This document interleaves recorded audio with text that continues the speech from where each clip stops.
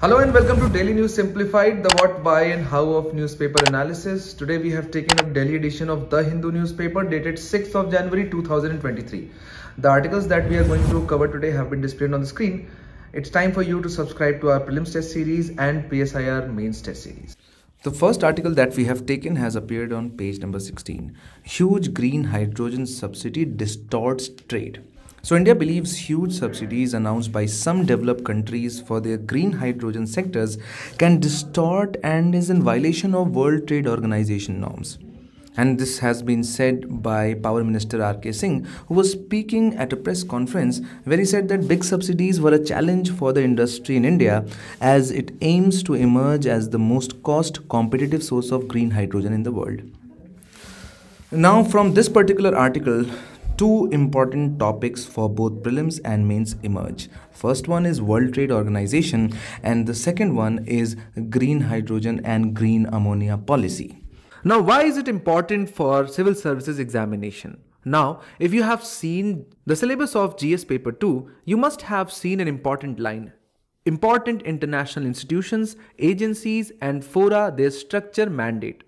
And so in this regard, not just for the prelims examination, obviously this is important for that, but from the perspective of mains examination, there are few things which are very important. And so in this regard, we will start by first understanding why is there a need for such an international organization. Why in the backdrop of World War II, a need was felt for that GATT was created and then finally WTO took it from there. So we'll understand the basics of WTO, its advantages, and then finally we will look into the challenges currently being faced by WTO. Now starting with the basics because most of our viewers are quite new and for them it is very very important to understand how and why it was created. So before WTO there existed a GATT or General Agreement on Tariffs and Trade. It more or less functioned on the same lines which was created in 1948 to regulate world trade and it was created as a means to boost economic recovery after Second World War by reducing and eliminating trade tariffs, quotas and subsidies. So during the Great Depression, a breakdown of international relations and an increase in trade regulation made poor economic condition even worse and it contributed to the outbreak of Second World War.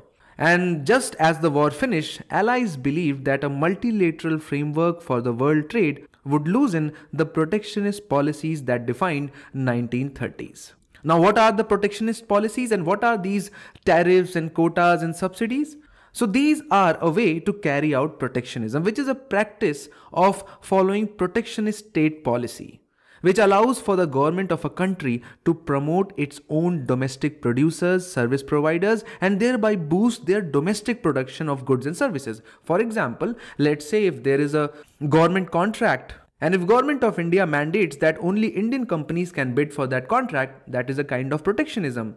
Similarly, let's say that government of India puts a limit on how much cars can be imported, let's say 100 per year, that is a quota. Similarly, Government of India can impose, let's say, 100% import duty on a lot of products, and that is tariff. Or in other ways, the Government of India can provide domestic producer of cars 50% rebate in, let's say, iron and steel. And so that is a subsidy. And so all these kinds of measures are called protectionist policies. So the taxes or duties imposed on imports are known as tariffs. Restriction on the volume of import are known as quotas and negative taxes or tax credits are known as subsidies. So these are the three main ways of providing protection. And let us understand them by an image which you can see on your screen. So these are tariffs. Then government provides subsidies which allows producers to lower the price of local goods and services because they are getting benefits from the government. Then you impose quotas and then, no matter how low a sets the price through subsidies, it cannot ship more goods because there is a limit on how much you can import. And even if that good is very cheap, you cannot import more than that. And then finally, you tweak with the currency. Deliberate attempt by a country to lower its currency value, which would make its exports cheaper and more competitive. So in the build-up of World War II, most developed countries across the world increasingly resorted to these four methods and because of which the global trade was suffering because protectionism has its own fair share of disadvantages. Of course, it offers more growth opportunity, lower imports, more jobs, and higher GDP for the local population or for the residents of the country. But in the longer term, it is not good for any economy. Why? Because, first and foremost, it leads to stagnation of technological advancement. As domestic producers don't need to worry about foreign competition, they have no incentive to innovate or spend resources on R&D of new products. Similarly, there is very limited choice for consumers. If you ask your parents about the choices they had about electronics good or even cars, they would tell you that they were not available because consumers have access to fewer goods in a market as a result of limitations on how much foreign goods can be imported because of protectionist policies. There is increase in prices due to lack of competition. Consumers will need to pay more without seeing any significant improvement in the product. And since there are very less number of choices, consumer has to choose what is available. And finally, it leads to economic isolation. Because there are high tariffs, there are quotas, and there are subsidies given to local markets and local producers, that country or that economy becomes to grow increasingly distant from other economies and so the exchange of ideas is minimum and which leads to not just economic but also political and cultural isolation. Just try to think of North Korea when you talk about protectionism. It's just not economically isolated but also culturally and politically. And so that is why a need was felt to create an organization which would counter protectionism would liberalize trade by reducing tariffs and removing quotas among member countries. This will not just counter protectionism but increase in global trade, which would then boost the war ravaged economy of World War II scenario. And so, in this context, GATT was thought of. Ultimately, it was taken over by WTO later on, but this is the context in which WTO works. So, so far we have understood why it is important to have a global institution working towards a global trade or a rule-based trading system.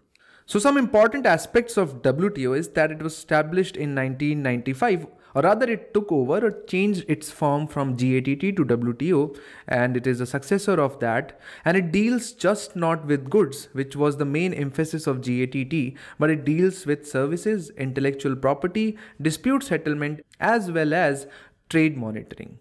An important aspect is that it is not a specialized agency of United Nations. Although it has an arrangement with the United Nations through which it maintains strong relation with United Nations. So this is a very important information. And so WTO functions for smooth, free and predictable global trade or for the creation of free trade, which is a policy that means governments do not charge people to import or bring in goods from other countries or make exporter pay taxes to send their goods abroad because you need to understand that when companies invest in other countries, they want the trading rules to not change suddenly in their disadvantage. And for that, they need protection. And so that framework is provided by WTO. And so it is important for us to understand and appreciate the advantages which are derived from WTO. So first and foremost is that it talks about a gradual reduction of tariffs. As you can clearly see the example of United States on your screen. On your y-axis we have tariffs as a percentage of imports and on x-axis you have years. And if you start looking from 1940 you can clearly see a gradual reduction in the import duties imposed by United States. And similar is the case with other countries as well. And so it talks about gradual reduction of tariffs and through which it wants to promote free trade. Then it acts as a legal framework not just for negotiation of countries or among them but also for other kinds of trade barriers as well. Then it enables trade without any discrimination and it is not like that WTO is just a body vouching for free trade or completely free trade, which means no tariffs, no barriers, no quotas, nothing. It allows for tariffs and trade restrictions under certain conditions. For example, if a country A feels that a country B is exporting very cheap raw material, which is artificially deflated then the country A can impose duties without violating WTO rules. Similarly, there are clauses such as national security which a country can utilize to impose significant barriers to trade for a specific country. And then finally, all these rules are to protect fair competition because there are rules because there are rules which member countries have to abide by whether it is about subsidies or contracts or import or export once you become a member of WTO, your national rules have to align by the general framework. And so that is how the disadvantages of protectionism are countered. It leads to lower prices for consumers because then imports become cheaper. It promotes fair trade because then foreign companies can function in any of the countries which are member and can expect a fair treatment from the government. Then it leads to specialization because when all companies are treated equally, then the companies can produce a product anywhere across the world. And that location is mainly decided by the factor of manufacturing cost and not other policies like quotas and tariffs and other barriers. And finally, it leads to the development of economies of scale. Because by encouraging free trade, firms can specialize and produce higher quantity. This enables even more economies of scale, which is important for industries, especially in the current context. And the success of WTO is demonstrated by the raw data.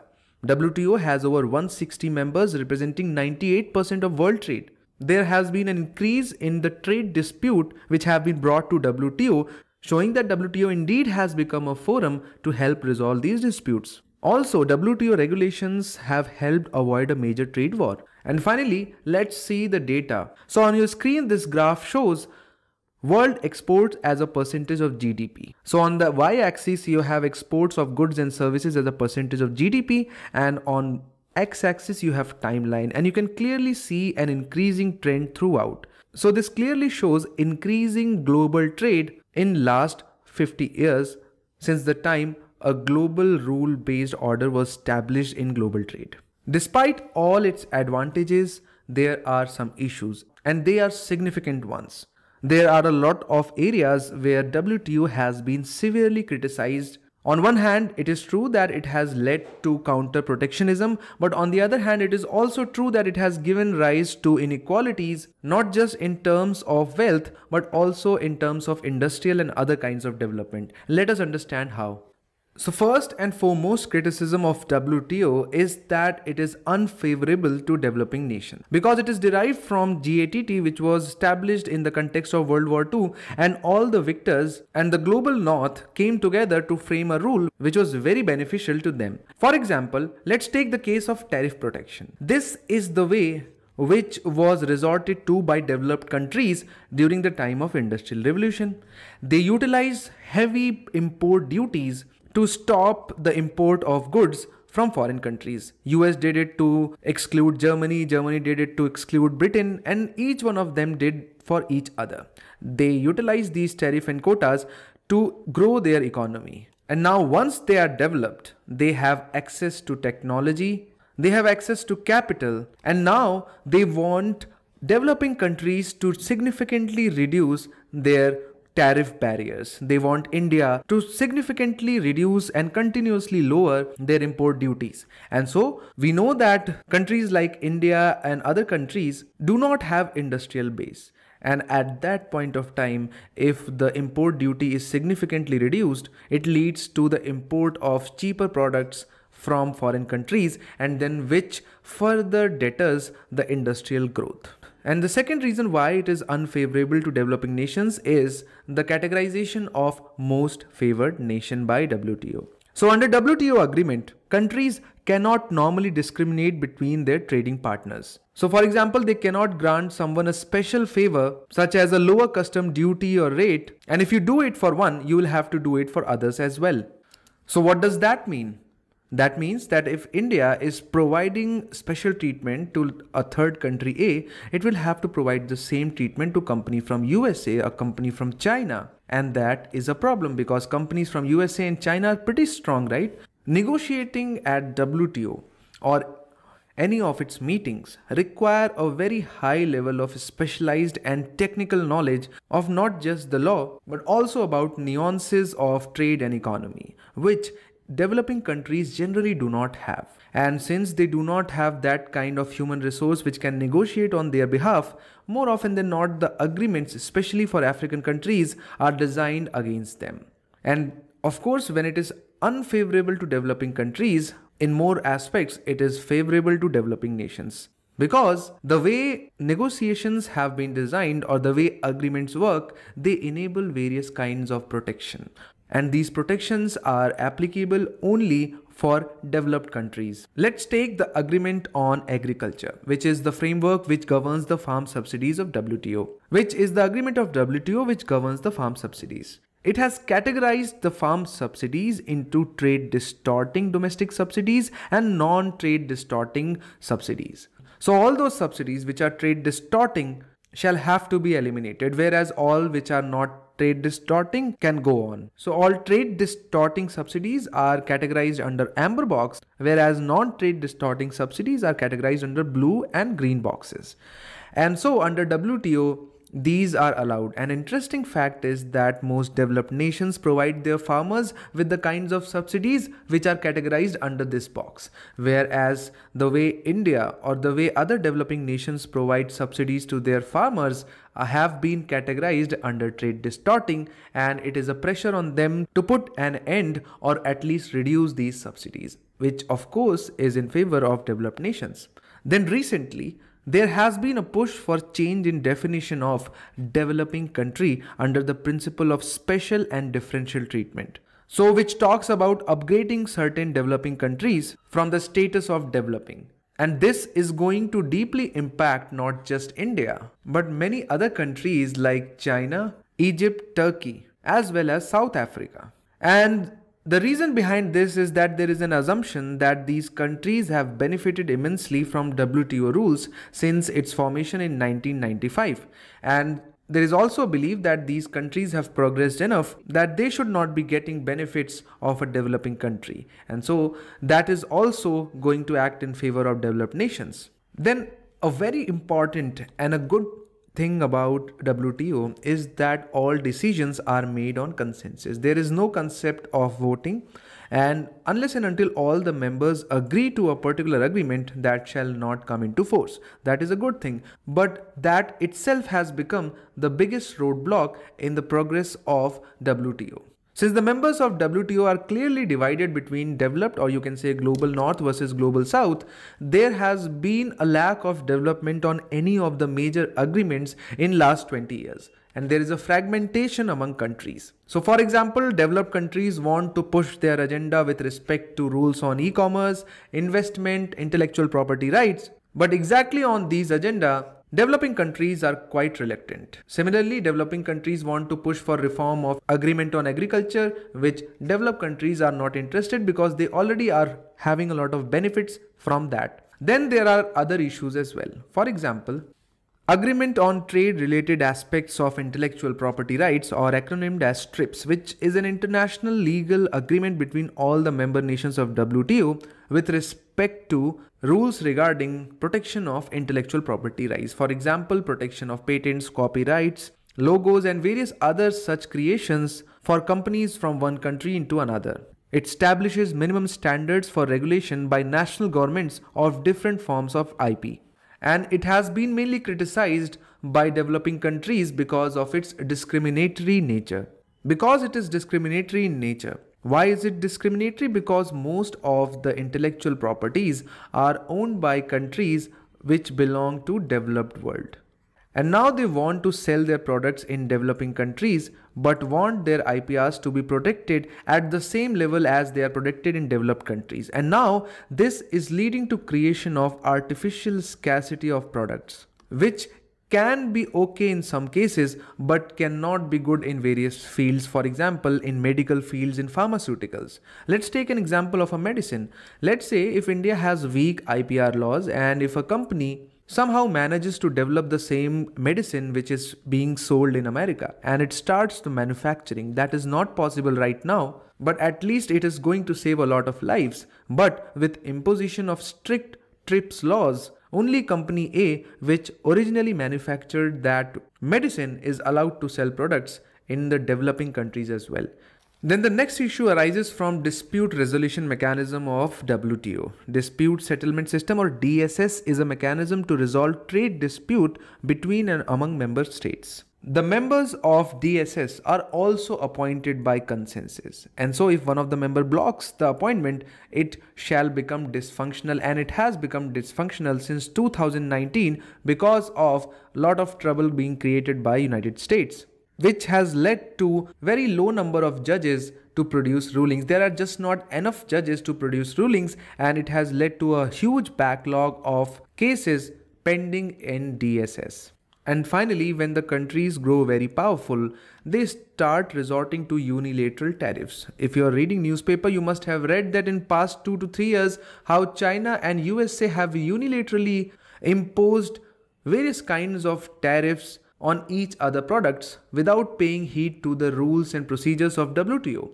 Similarly, in the wake of COVID-19 pandemic, many countries including India have resorted to protectionism despite WTO in existence. So clearly you can understand that challenges in front of WTO are not small. There are mega challenges which the new Director General would have to face. So in this regard, in this discussion, we started by first understanding the context in which the parent body or the predecessor of WTO was formed, that is GATT, that context was extreme protectionism, to counter which a GATT was established, which then passed on the baton to WTO. Then we understood what advantages have been arrived, how it has worked in favor of increasing the global trade, but nonetheless, it has its fair share of challenges and issues which needs to be resolved pretty soon. Let us now move on to the next discussion. In today's newspaper, we have many articles on green hydrogen. We have an editorial article, A Green Promise. We also have another article in the FAQ section, India's plan to develop green hydrogen. Hydrogen and ammonia, these are expected to replace the fossil fuels in the future and very much in the near future. One of the primary criteria for a nation's ecologically sustainable energy security is the production of the fuels using renewable energy. Hydrogen is one of the energy dense fuel. It's much more dense than diesel and petrol. So we are targeting hydrogen as a fuel, but it has to be a renewable source of energy. Hydrogen, you understand, in the form it is usable as fuel in the form of H2 is not found in nature, although it is the most abundant element in universe. And to get this form, energy is required. If we source the energy from renewable sources and produce hydrogen or ammonia, we get green hydrogen, green ammonia. So essentially, it's not just hydrogen as a fuel, it is green hydrogen or green ammonia that is going to ensure ecologically sensitive, sustainable energy security. Although you must know it already, but let's do a quick recap. Hydrogen as a fuel can be classified into various categories and those categories are named with color based upon how it is produced. Black hydrogen are those hydrogen which are produced using fossil fuel. If the hydrogen is produced by the mean of electrolysis, meaning passing electricity through water and breaking it down, electrolysis of water. But the electricity is sourced from nuclear power plant. Then the hydrogen is called as pink hydrogen. Brown hydrogen are those produced using coal effectively electricity being produced by coal. Gray hydrogen is the one produced using natural gas and the emission is released into the air. If hydrogen is produced using natural gas and the emissions are captured, then it is called as blue hydrogen. Green hydrogen would be effectively zero carbon fuel. So you will not be using coal, no natural gas, no burning, but still you need electricity for electrolysis. And that electricity will be produced using renewable sources like wind and solar energy. But presently, green hydrogen is less than 1% of total hydrogen produced. It's important to focus on green hydrogen because as per various reports, for instance, as per the International Renewable Energy Agency, hydrogen will make up 12% of energy mix by 2050. That is an imperative if we are moving towards meeting the Paris Climate Agreement targets. And as per the World Energy Transition Outlook report produced by International Renewable Energy Agency, 66% of the hydrogen produced must be green hydrogen if we are to remain on 1.5 degrees Celsius above the industrial level pathway. Hydrogen as a fuel is important because we are going to run short of fossil fuel. Hydrogen fuel has many merits that we will talk about shortly, but what we should be targeting for is green hydrogen instead to not only serve the purpose of uninterrupted supply of energy rich fuels, but also to meet the climate change targets. Green hydrogen is going to be very, very significant in the coming times. A, because it has high energy density. The energy density is almost three times that of diesel. The energy demand in the coming time is only going to rise. However, the supply of fossil fuel is going to decline. India presently is world's fourth largest energy consumer. And according to IEA's forecast, India will overtake European Union to become the world's third largest consumer by 2030. The largest consumer presently is China, followed by United States. European Union is at third position, India at fourth. But soon we are going to come at third, taking over European Union. So in this context, the supply of energy demand is going to be fulfilled by new sources and green hydrogen is the prime mover in that direction. Green hydrogen would be very significant in, in driving India's transition to clean energy in meeting climate change targets we have pledged to reduce our emission intensity very significantly in, in the Paris Agreement targets. We do not have enough fossil fuel sources, but we can produce green hydrogen if we get enough technology and develop ecosystem for development of green hydrogen. And that will reduce the import dependency. And whenever a new technology comes in, it brings along with itself the entire ecosystem of development of other technologies as well. The pressure pumps, the coolant systems all have to be developed indigenously. If you come to think of more significance, it can also help in developing more trade relations with other countries. Germany and Japan, for instance, they are leading in this source of fuel. And if we start producing, their demand is very high. We can become a prominent supplier of green hydrogen to these nations. Government has announced green hydrogen, green ammonia policy. We'll see what this policy talks about. But in general, what a policy should do. Policy for anything must do essentially three things. It should help bring more investments. It must ease the operational process. And it should enable creation of demand. These three elements will be true for any kind of policy. If the government is going to come up for a policy for 5G, it must ensure that investment comes in development of 5G equipments and, and rolling out 5G services for customers. It should ensure that the infrastructure that we had for 4G is better utilized for 5G as well. And whatever beefing up of infrastructure is required is done and compatibility of devices and repeaters and routers and other things in transmission line, those things are streamlined. If more towers have to be set for 5G, then the land can be easily procured. The operational process has to be made easy. That's one of the prime purpose of any policy. Government also has to ensure that it looks for use cases of 5G. Many of you might not require 5G. Many of you, many of you must already be happy with the 4G services. Why do you require such a fast speed? In e-health, in e-education, for other financial services, government will have to look for use cases of that technology. It has to create demand. So basically, if these three things are ensured, you have easy operational process, investment would come in. And, and if you have all three placed together, then the policy would be a success. Now, to ensure these three things, what has the policy on green hydrogen and green ammonia done? The first thing that a policy does is to provide financial incentive. For the production of semiconductor chips, Government of India has given the incentive of, of rupees 10 crore for any company that sets up a manufacturing plant for chips in India, semiconductor chips. In this case, Government of India has given an incentive of 25 years of free power transmission for any renewable energy facilities built to produce power for green hydrogen generation before July 2025. This means a green hydrogen producer in Rajasthan may build a solar power plant to send renewable energy to a green hydrogen plant in Assam without having to pay any interstate transmission fees. And this move is likely going to make it more economical for key users of hydrogen and ammonia such as oil refining companies, fertilizer producing companies, steel sector, they can produce their own green hydrogen. These sectors currently use grey hydrogen or grey ammonia produced using natural gas. The government plans to create a single gateway for all green hydrogen production clearances. Government also plans to create a mechanism for producers to bank any excess renewable energy created with discoms up to 30 days. This requirement of time-bound clearance for these projects, it's definitely going to help in spurring investment. Single gateway for clearances, these mechanism of banking excess energy with discoms there is also a provision of grid connectivity on priority for energy developed using green hydrogen. All these are going to ease the operational process. Then government must also do something to create the demand. And for that, the power distribution companies, they may procure renewable energy to supply green hydrogen producers. And such procurement would also count towards renewable purchase obligation. You know that the discoms have to purchase particular percentage of their total energy from renewable sources. So what discoms can do, they can purchase the renewable energy from the renewable source and supply it to green hydrogen producing plants. And that purchase will be counted under RPO. What further the government will have to do down the line is to use the hydrogen produced somewhere. So maybe in HCNG vehicles or hydrogen based buses, that piece is a missing link in the policy. What are you going to do with green hydrogen?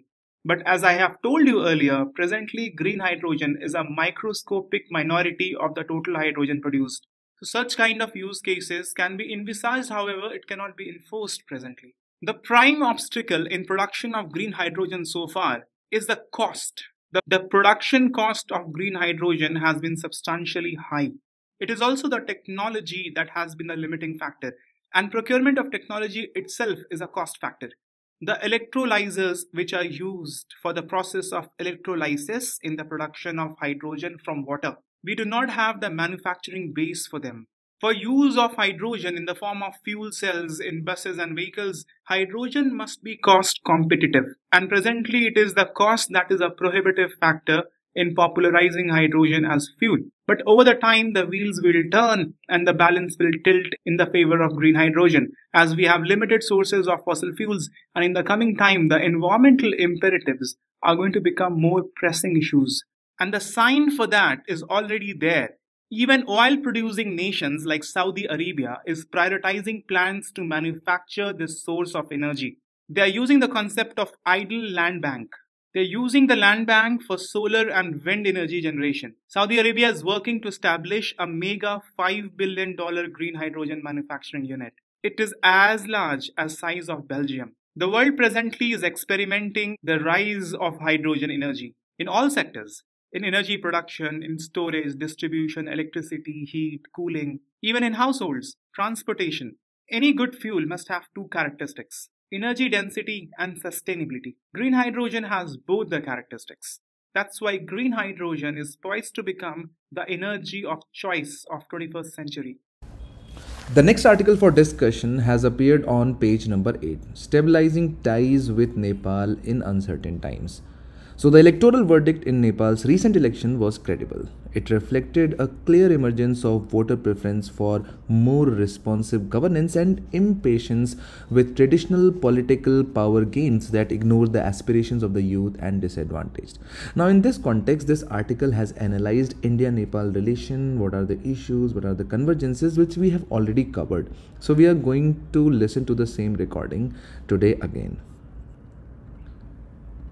So you can clearly see that within the summary of this article, the fact that the India-Nepal relation has gone from ups and downs in recent past 5 to 10 years demonstrates that the strong cultural and geographical ties which India shares with that of Nepal are not sufficient to ensure healthy relation among these two neighbors.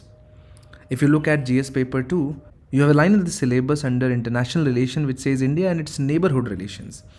And so, out of all the eight territorial neighbors that India has, Nepal is one of them, of course, sharing 1700 kilometers of territorial border.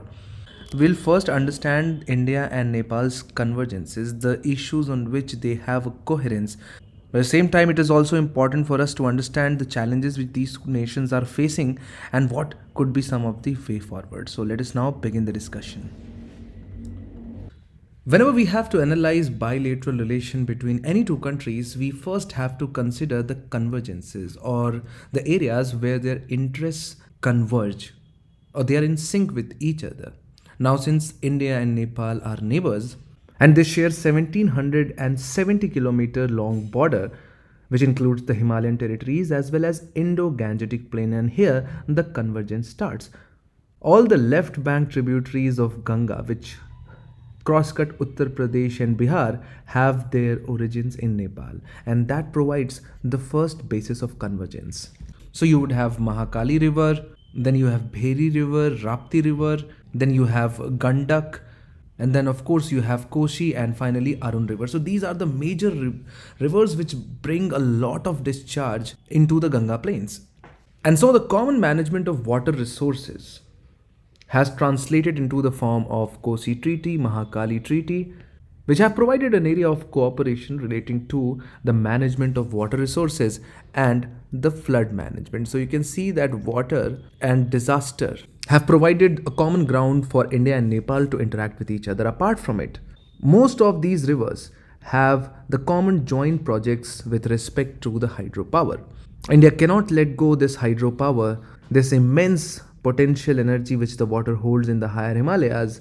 But the problem is that Nepal does not have the technology. India has the technology, but India do not have access to these potential water energy resources. And so it's a win-win situation for both of them. India provides Nepal with the technology, infrastructure, capital, and builds the dams through which then electricity which is generated is shared between India and Nepal and so it's a great convergence and so you have power exchange agreement for meeting the power requirements in border areas then both these countries have signed cross-border oil product pipeline from Motihari in Bihar to Amlekganj in Nepal and of course multiple hydroelectric projects uh, for example in Sulu corridor. Next area of convergence is the connectivity projects. For example, Raxaul Kathmandu Railway Project and BBIN. Another major area of convergence is the cultural and educational links which exist between India and Nepal. So India provides scholarships to Nepalese students for various courses. Almost all the premier institutes have some kind of student exchange program where the Nepalese, the Bangladeshi, Sri Lankan, Maldivian student come and study the courses at almost free of cost. This also includes the premier training institutes of Indian Administrative Service, Indian Police Service, Indian Revenue Service. As far as the cultural links are concerned, you can understand that the close geographical proximity and drawing of the line during the British era meant that the cultural exchange had been free from millennial. And so the strong historical and cultural links in terms of uh, religion, language, and cuisine has culminated into what is famously known as Roti Beti Kanata, which basically means that people from across the international border are connected with each other in terms of roti which means livelihood and beti which means exchange of the daughters. So there are marriages happening across the border and people are migrating to and fro from India, largely from Nepal to India in search of livelihood. So the relationship between India and Nepal is quite multi-dimensional. It extends from culture to economy to infrastructure project, but it also has a very important strategic angle to it, which makes it extremely crucial for India to maintain good ties with Nepal. So for example, you should see the location of Nepal. It acts as a natural security buffer between China and India. Since India and Nepal have traditionally shared quite good relationship, the border is largely porous. Now this largely porous border has ensured free flow of goods and services and also the people and so it has also caused a lot of internal security issues within the country. So for example, the harmonious relations between the two countries has allowed the insurgents from across the border to cross the border and take shelter in the other country. And so, a good relation between India and Nepal is important to counter the internal security threat of both the nations. And hence, India assists the Nepal army in its modernization and military exercises like Surya Kiran to boost interoperability. And for this very purpose, the political stability of Nepal is extremely important because if the one of the reasons for example the madhesi region of the nepal is unstable it will lead to the spillover into india just like when bangladesh became unstable we had a lot of illegal migrants into the country But in past 10 years, we have seen a significant number of challenges when it has come to India-Nepal issues. And one which India is facing with all its neighbors is China's rising influence in South Asia, which is reflected or manifested in a lot of forms. For example, Nepal was very ecstatic and immediately joined the Belt and Road Initiative, which is not something a friendly country to India would do. Eventually, it could join, but the kind of activity and the kind of enthusiasm which the Nepal has shown when it comes to increasingly close relation with China is something which is irritating India. Apart from that, the Nepal's internal politics is increasingly demonstrating anti-India rhetoric.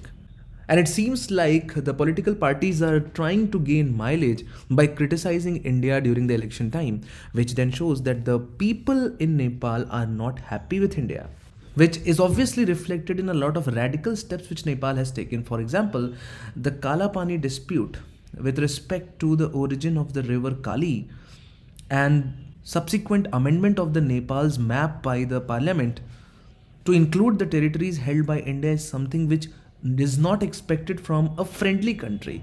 Is something which can be expected from Pakistan and China but not from Nepal. But apart from that, some of the concerns shown by Nepal are quite genuine.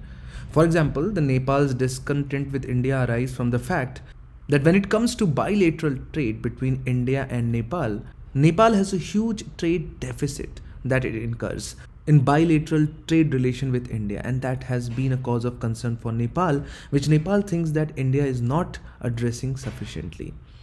Apart from that, the distrust towards India is a result of India's big brotherly attitude. Because India has signed India-Nepal friendship treaty with Nepal. And this treaty has become one of the basis points for anti-India rhetoric in the politics of Nepal.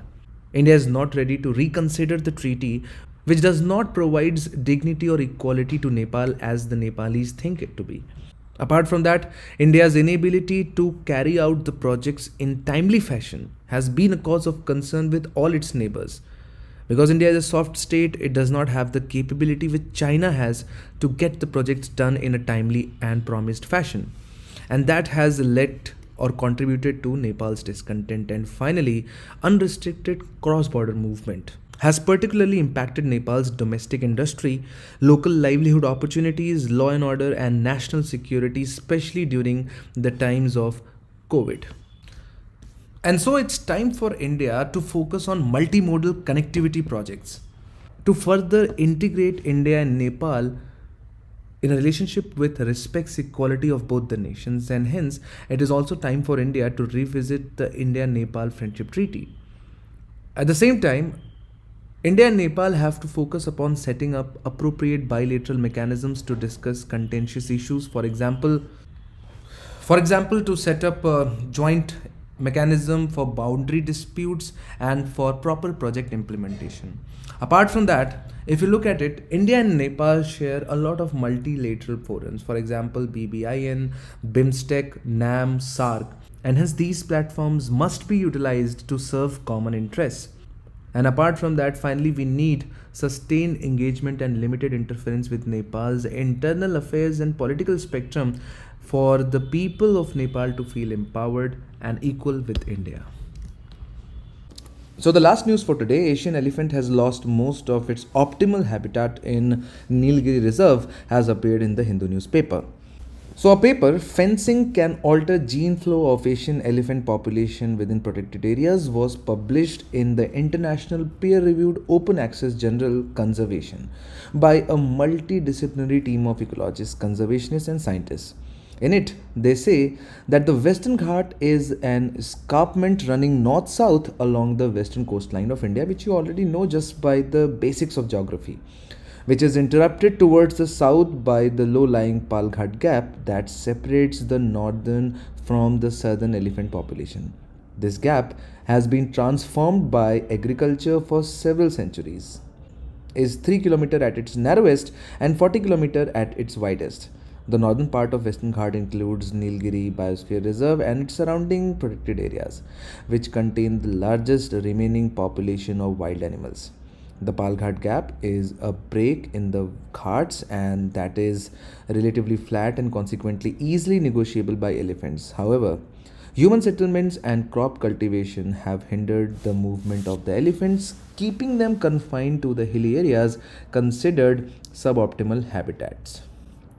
And so, in this regard, from the perspective of environment prelims, it is important for us to understand few of the basic stuff about Asian elephants. Their IUCN status is endangered and they inhabit grasslands, tropical evergreen forests, semi-evergreen forests, moist deciduous forest, dry deciduous forest and dry thorn forest. In addition to cultivated and secondary forests or scrublands. Elephants can range over large areas, and as a consequence, elephants disperse seeds over longer distance than most of their herbivores.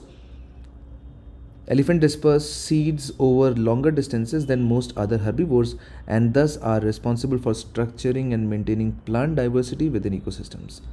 Given their large area requirements, elephants are regarded as umbrella species because their conservation will also protect a large number of species large number of other species occupying the same area. They may also be considered as flagship species because of their iconic or cultural value and keystone species because of their important ecological role and impact on environment. Asian Elephant Society is organized into well-defined matrilineal communities or clans comprising adult females as well as subadult and juvenile males and females. A recent study from the resource rich, well protected ecosystem of Kaziranga in northeast India suggests that female led herds move about their activity centers considerably more than adult males. Their range